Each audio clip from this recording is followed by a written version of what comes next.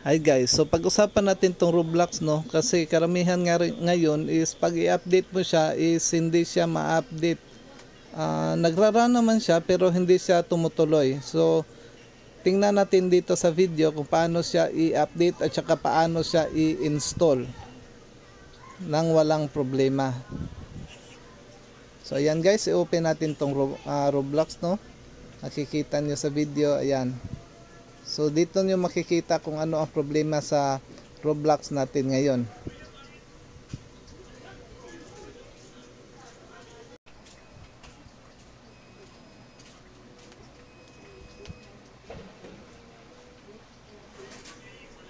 Ayan, naka Windows 7 pala tayo guys. Tingnan natin, ayan. Pwede din ito sa Windows 10 ha. Pero ito, pinagpakita ko ngayon is Windows 7 ito. Ayan. So makikita nyo dyan. Nagra-run siya pero kusa siyang mawawala. Tingnan nyo ha. So ayan guys, nawala siya bigla. Ayan yung mga problema ngayon sa Roblox no. Kaya para ma-fix siya guys is open natin tong Chrome. Ayan. Tapos click natin yung tatlong dot. Tapos punta tayo sa settings.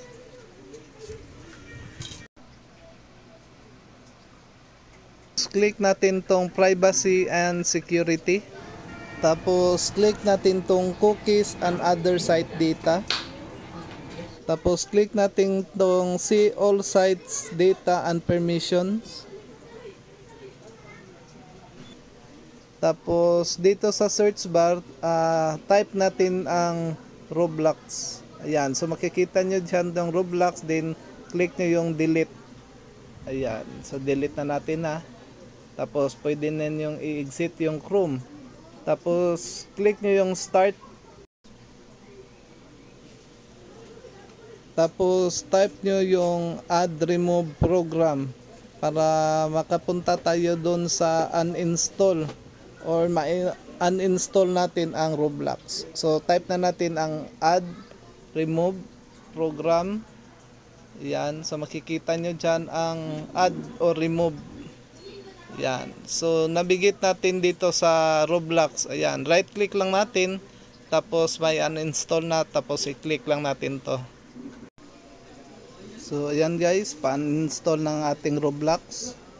Hintayin lang natin. Ayan. Tapos click na lang natin tong OK. Ayan. So dito guys is click natin tong start. Ayan. Tapos dito sa search bar is i-type natin ang ano ah, percent. Tapos local app data. Tapos percent ulit.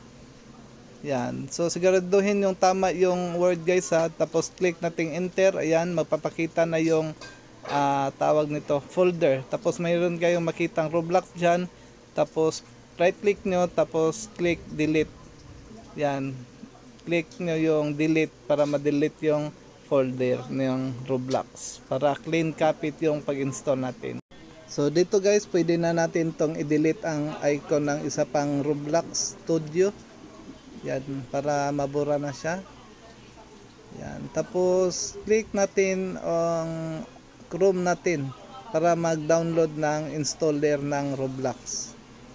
Yan. So ito guys, dito sa search bar, type lang natin ang roblox.com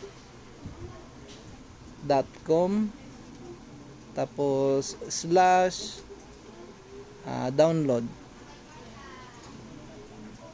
so yan. Tapos press natin ang enter para makapunta na tayo sa ah, Roblox na website. Yan. So meron kayong kikitang download dyan.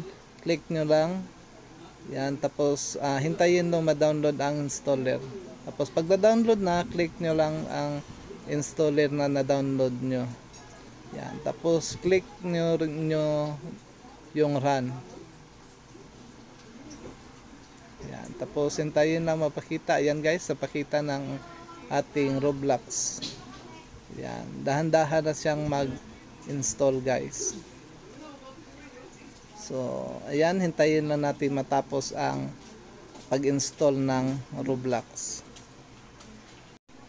So, ayan guys, kapag makita nyo na hindi siya ma-install or hindi siya tumutuloy sa pag-install, ayan guys, nawala siya. So, makikita nyo dyan is hindi yun na-install kasi walang icon ng Roblox. So, open lang natin tong folder ulit, nabigay tayo sa downloads, ayan, hanapin natin yung installer para ma-click ulit natin, ma-install natin ulit. So, first try yun guys, ito naman ang second try. Ah, minsan kasi guys is na-install agad siya tapos minsan is need mo pang pangalawang ah, i-install ah, ulit siya para mag-success. So dito guys is ah, hintayin natin kung ma-install pa ba siya ulit. So ayan guys, nasa kalahati na no. So, hintayin natin kung anong resulta. Ayan, nawala ulit siya guys. Tapos wala pa ding icon ng Roblox. Ayan. So, open tayo ulit ng folder. Tapos, download. Ayan. Click natin ulit tong ah, installer. Ayan. Click natin yung run. Ayan. So, nagra-run ulit siya. Ito yung pang tatlong try guys. So, this time is ah, sana ma-install na siya. Kasi minsan first, minsan uh, second, tapos karamihan guys is sa third try talaga. Sa third try na siya ma-install. So, hintayin na lang natin guys, no? Ayan guys. So, pag ganyan guys, is na-install na siya. At saka makikita nyo, meron na siyang icon na Roblox. Ayan. So, nawala na siya. So, hintayin na lang natin mapapakita or ma-open yung Roblox mismo. Yan, arrange lang natin tong icon. So, tingnan natin guys ha kung ma-open. Hintayin lang natin, check ma-open yan. Kung ayaw nyo namang uh, or nagmamadali kayo, pwede nyo ulit uh, i-double click yung Roblox na icon para ma-check nyo na nagra-run yung uh, Roblox. So, ayan guys. Yan, open na siya. Kitang kita sa video guys is, ayan, pwede nang uh, ma-open ang ating Roblox na walang problema. So, yan lang guys, no? Okay na okay siya guys. So, yan lang guys. Bye-bye.